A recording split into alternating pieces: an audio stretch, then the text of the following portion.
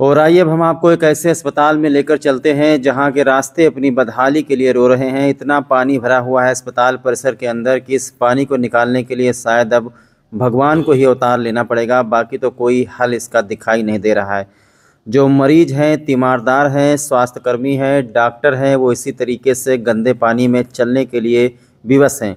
उत्तर प्रदेश के श्रावस्ती जनपद का इकोना सामुदायिक स्वास्थ्य केंद्र है, जहाँ पर देखा जा रहा है कि पंद्रह दिन से पूरे अस्पताल परिसर में चारों तरफ़ पानी ही पानी भरा हुआ है। जल निकासी की कोई व्यवस्था है नहीं। बात करें अगर तो इकोना कस्बे की तो पूरे इकोना कस्बे में अगर 10 मिनट के लिए भी बरसात हो जाता है तो जो पानी है वो चारों तरफ़ लोगों के घरों में भर जाता है और ये पानी निकलने का नाम नहीं लेता है। बाज़ार का पानी किसी तरीके से यहाँ वहाँ तालाब में पहुँच जाता है, लेकिन इकोना में कुछ ऐसे सरकारी संस्थान हैं जहाँ पानी बिल्कुल जमा हुआ है। इकोना सामुदायिक स्वास्थ्य केंद्र का हाल आप लोग देख लीजिए। उधर पीछे महिला अस्पताल है, उसके बाद डाक बंगला है, वह वहाँ पर प्राथमिक विद्यालय है और इकोना बाईपास के बगल में जितने भी आवास बने हुए हैं, चारों तरफ़ इस वक्त जल भराव से कोहराम मचा हुआ है। कोई भी सुनने को तैयार नहीं है, कोई कर भी क्या सकता है? आपको बता दें कि शायद जैसा मैंने आपको बताया कि इस पानी को निकालने के लिए अब भगवान को ही अवतार लेना पड़ेगा, क्योंकि देखा गया है इकोना में जहाँ पर नाला बना हुआ है, वहाँ पर लोगों ने अवैध रूप से कब्जा करके रखा हुआ है, अतिक्रमण करके रखा हुआ है। इसको जो है जिलाधिकारी को उप जिलाधिकारी को संज्ञान में लेना चाहिए और इकोना करबला से ले करके और आपको बता दें कि कोना जगजीत इंटर कॉलेज तक इसकी जाँच करानी चाहिए कि किन लोगों ने जो नाला बनाया गया था, उस नाले पर कब्जा करके रखा हुआ है, किन लोगों ने घर बना लिया है किन के वहाँ पर आवास बने हुए हैं। इस जल निकासी की व्यवस्था को अगर सुदृढ़ करना है, अगर इस पानी को निकलवाना है, ये देखिए, इकोना अस्पताल के पीछे पाँच पिरान कब्रिस्तान आप देख रहे हैं, पूरी तरीके से समंदर दिखाई दे रहा है। आपको ऐसा लग रहा है कि राप्ती नदी शायद इकोना में ही बहने लगी है। ये हमारे इकोना सरकारी अस्पताल का हाल है, जहाँ पर जो बीमार मरीज़ हैं, तीमारदार हैं, स्वास्थ्यकर्मी हैं, डॉक्टर हैं, अधिकारी हैं, नर्स हैं, एंबुलेंस कर्मी हैं और जितने भी लोग अस्पताल के हैं, दूर दराज से सबसे बेस्ट अस्पताल है, ये सबसे ज़्यादा मरीजों की सेवा करने वाला ये अस्पताल है। यहाँ पर हर वक्त भीड़ लगी रहती है, इमरजेंसी तक आज कोई नहीं पहुँच सकता, ये हाल है। इसके बारे में अगर शिकायत करें तो किससे करें? क्योंकि मेरे ख्याल से इस पानी को निकालने का कोई तरीका है ही नहीं। अस्पताल के पीछे बड़े बड़े तालाब हैं, वहाँ पानी भरा हुआ है। उसके बाद में अस्पताल के दाहिने तरफ़ पाँच पिरान दरगाह है। पाँच पिरान दरगाह के बगल में जो मोहल्ला है, पाँच पिरान मोहल्ला, वहाँ पर पानी भरा हुआ है। अब इस पानी को नाले में कैसे पहुँचाया जाएगा? जो इकोना कस्बा है, वो नीचा है और जो नाला बनाया गया है, वो हाईवे पर बनाया गया है, ऊँचे बनाया गया है। कहीं से भी पानी निकलने की व्यवस्था नहीं है। देखिए एंबुलेंस वगैरह सब यहीं खड़े हैं। रात बिरात सांप बिच्छुओं का भी खतरा बना रहता है। जो मरीज़ तीमारदार आ रहा है वो कह रहे हैं कि शायद उत्तर प्रदेश में इससे ज़्यादा ख़राब व्यवस्था और कहीं नहीं दिखाई पड़ेगी। कुछ मरीज़ तीमारदार हैं आइए उनसे बात करते हैं। भाई हैं आपने कभी सोचा था इस तरीके से नदी पार करना पड़ेगा? जी लगता ही नहीं कि ये कोई हॉस्पिटल है। अच्छा। जी। क्या कहना चाहते है हॉस्पिटल का हॉस्पिटल में जाने से पहले देखिए कितना कितना पानी नांगना पड़ता है कुछ पता ही नहीं कि कहाँ गड्ढा है कहाँ सही रास्ता है। बच्चे का इलाज कराने के लिए आप आई थी? जी बच्चे का इलाज करवाने आए। ऐसी व्यवस्था आपने कहीं देखी उत्तर प्रदेश में? कहीं नहीं देखे हैं। कहने मतलब सबसे गंदी व्यवस्था। सबसे गंदी व्यवस्था अभी तो तारीफ़ आपने सुन ली होगी एक महिला अपने बच्चे का इलाज कराने के लिए आई है उसे क्या पता था कि अस्पताल के अंदर जाने के लिए उसे इस तरीके से पानी में गंदे पानी में कपड़ा उठा करके चलना पड़ेगा।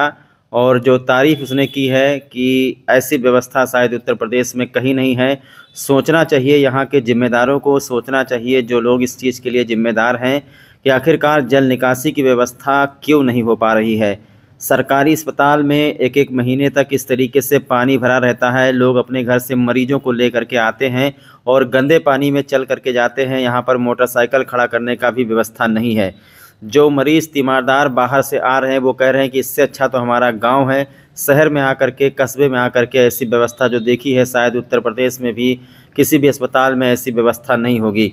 यहाँ पर जल निकासी के बारे में कभी किसी ने सोचा ही नहीं। लगातार दो तीन सालों से हम आपको न्यूज़ में दिखा रहे हैं कि अगर दो घंटे की भी बरसात इकौना कस्बे में हो जाए तो पूरे इकौना कस्बे का ये हाल हो जाता है। सबसे बड़ी बात तो ये है कि इस अस्पताल के चारों तरफ़ पानी भरा हुआ है। उस तरफ़ आपको बता दें, भाजपा विधायक का आवास है अस्पताल के पीछे, वहाँ पर चारों तरफ़ तालाब ही तालाब है। दूसरे तरफ़ पाँच पिरान दरगाह है और उसके बाद पाँच पिरान मोहल्ला है। वहाँ पर भी पानी ही पानी भरा हुआ है। जो आगे का रास्ता है, कोना बाज़ार का नाला तो बना हुआ है, लेकिन नाला पटा हुआ है, सब लोगों ने नाला पाट के रखा है। अगर वो लोग अपना नाला खोल भी देंगे, अगर वो अपना अतिक्रमण हटा भी लें, तब भी ये पानी किसी तरीके से बाहर नहीं निकाला जा सकता। सबसे नीचे है, ये कोना अस्पताल। बाकी सारी चीज़ें बहुत ही ऊंचाई पर हैं। संभवतः मोटर लगा करके ही पानी को निकाला जा सकता है, और इसके लिए बहुत ही जद्दोजहद करना पड़ेगा। ये सोचना होगा यहाँ के ज़िम्मेदारों को कि आखिरकार इस जो इस वक्त ये जल प्रलय कोना में आप देख रहे हैं, इसको कैसे बाहर निकालें? दूसरी बात आपको बता दें कि जो हाईवे पर नाला बना हुआ है, पहली बात तो इकोना में जितने भी गड्ढे तालाब हैं, जिन, जिनमें पानी भर जाया करते थे, जब बरसात होती थी तो इकोना में एक है सावताल।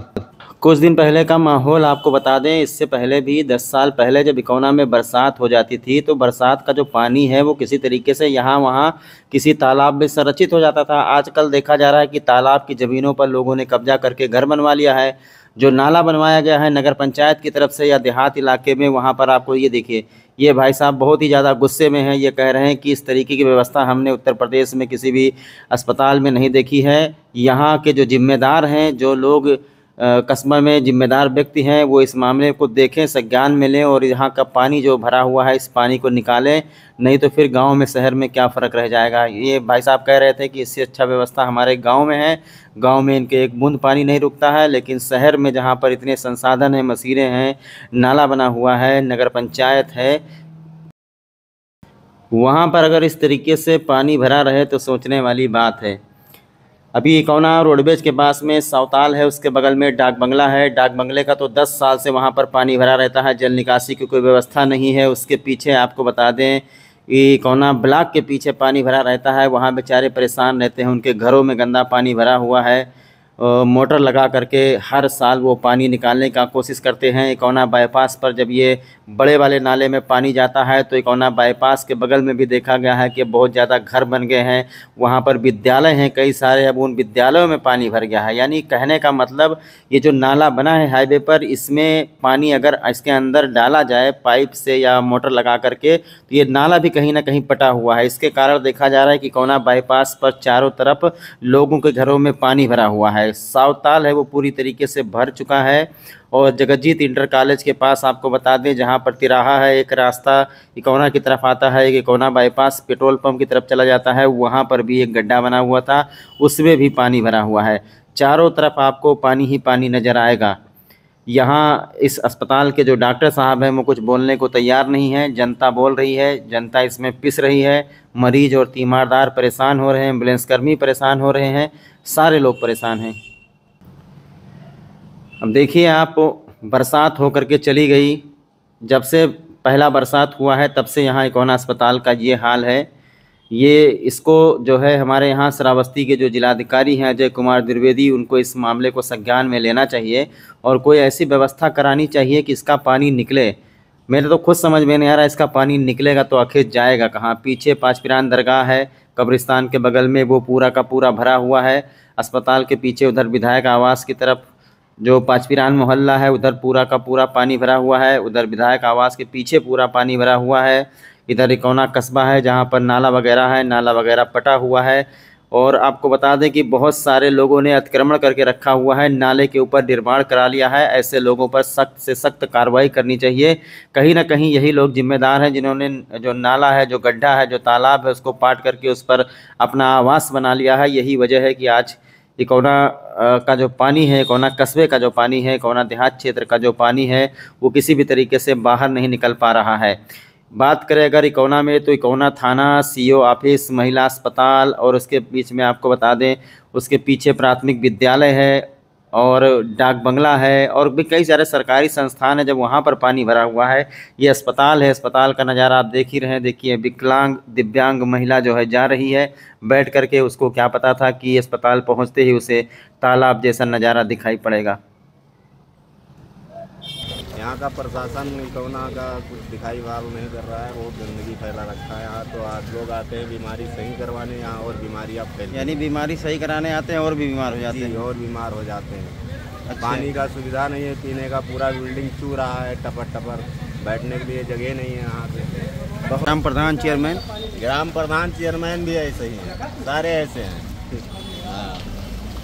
पानी भरा हुआ है एंबुलेंस डूबी हुई है।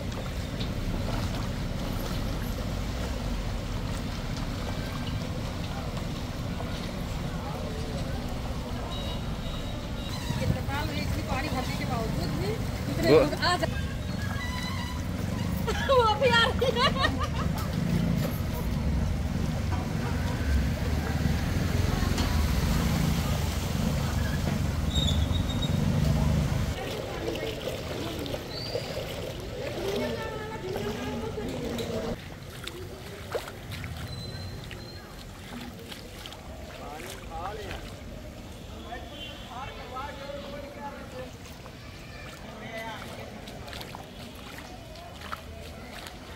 भी आ रही